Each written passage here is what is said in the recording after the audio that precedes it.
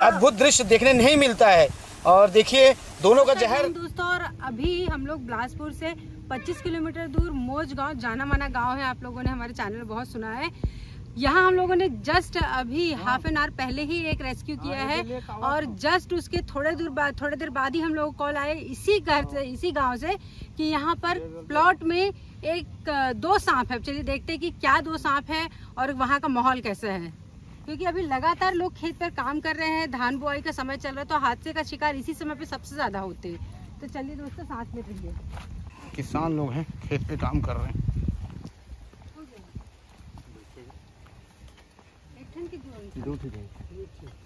यहाँ पर देखिए यहाँ पर जो नज़ारा है वो आमतौर पर देखने को नहीं मिलता है। और दोस्तों यहाँ पे किसानों का ये कहना है कि यहाँ पर जो धारीदार करैत है उसने कोबरा को पकड़ के रखा हुआ था और शायद इंसानों की छेड़खानी की वजह से उसने उस सांप को छोड़ दिया। तो चलिए मैं आप लोगों को नज़ारा दिखाती हूँ। देखिए यहाँ पर एक बैंडेड करैत है। और दूसरा सांप। यहाँ पर देखिए दोस्तों एक कोबरा भी है। दोस्तों देखिए यहाँ पर कोबरा भी है जिस तरह से किसानों ने बताया था और जस्ट इसके बाजू में देखिए बैंडेड करे थे। ये देखिए एक ही जगह दोनों सांप का मिलना और सिर्फ़ शिकार करने आया था।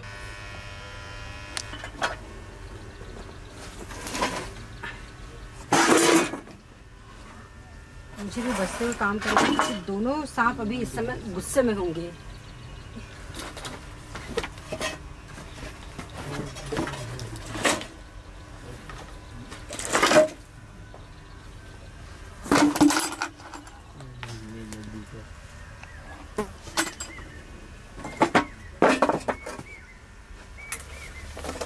अरे बाप रे।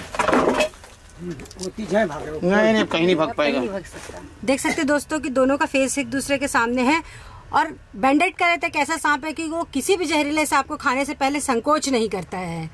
यही उसका शिकार है वही उसका मुख्य आहार भी है। शायद इस जगह में साइज़ को देख के लग रहा है कि कोबरा इसको खा जाता। सही बात हाँ। है। कि बिग साइज़ का कोबरा है। जहर हो सकता है ये इसको खा ले। देख पता नहीं क्यों अजान खरुपा ही भाग ही हो।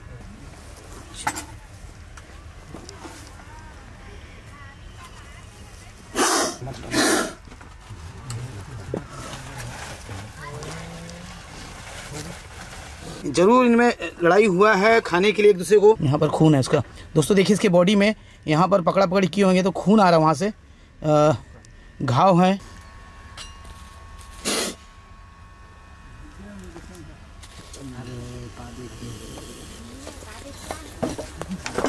हम्म, चलो।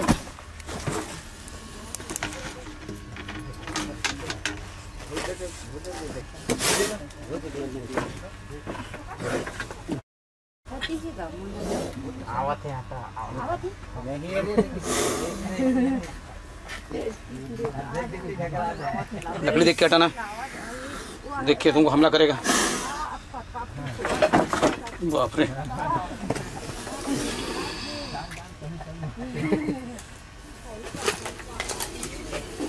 बाबा लाइट तक तो पीछे चल दे थोड़ा कर और पीछे चले जाओ। मोर पीछे चले जाओ बहुत सी।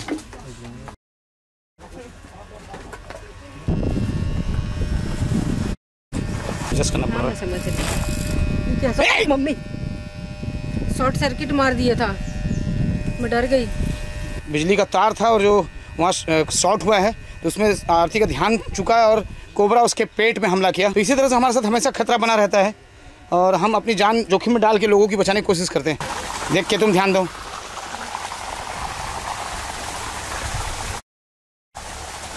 और दोस्तों शायद इंसानी डिस्टरबेंस की वजह से ये सांप ने एक दूसरे को शिकार करना बंद कर दिया वरना लड़ाई हो रही थी इन दोनों के बीच में।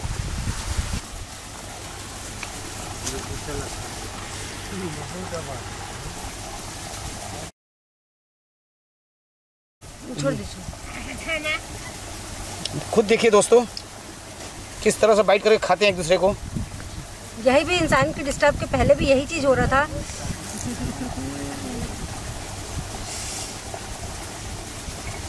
तो दोनों का ये अद्भुत दृश्य देखने नहीं मिलता है। और देखिए दोनों का जहर उतना ही खतरनाक है। अब देखते हैं किसको क्या असर हम लोग तो छुड़ाना है। ये पहले भी काटा काटी किए हैं। और ये इसका पूरा मुँह को पकड़ के रखा हुआ है। अहिराज हाँ हे छोड़े तब तक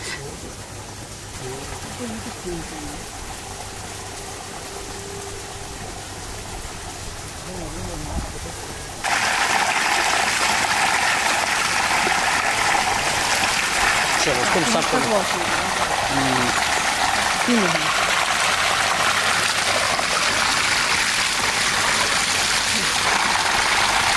चलो दे दूरी तो हम लोग सारे किसानों से अनुरोध करेंगे कि अगर वो लोग रात को, खासकर अगर रात को खेत में आते हैं तो जूता पहन के आए, टॉर्च लेकर आए और एक लाठी ज़रूर लेकर आए साथ में। किसानों से अनुरोध करेंगे, अगर आप लोगों को स्नैक बाइट होता है, सांप काटता है तो आप लोग सरकारी हॉस्पिटल जाइए।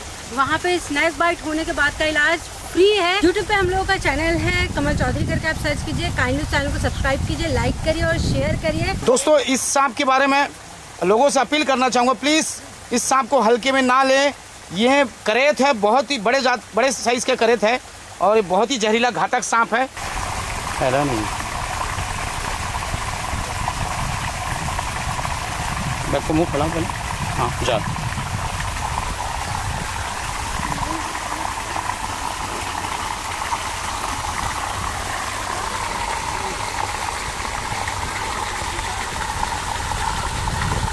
जी मेरा नाम धनीराम सिंगरल है मैं जोरापारा से हूँ।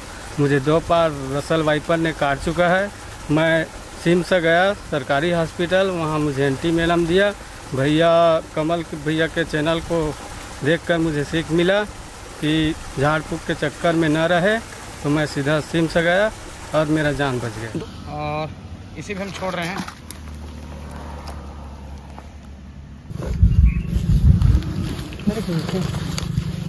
आई थिंक करेत का जहर जो है, कोबरा से छः से आठ गुना ज़्यादा तेज और घातक होता है।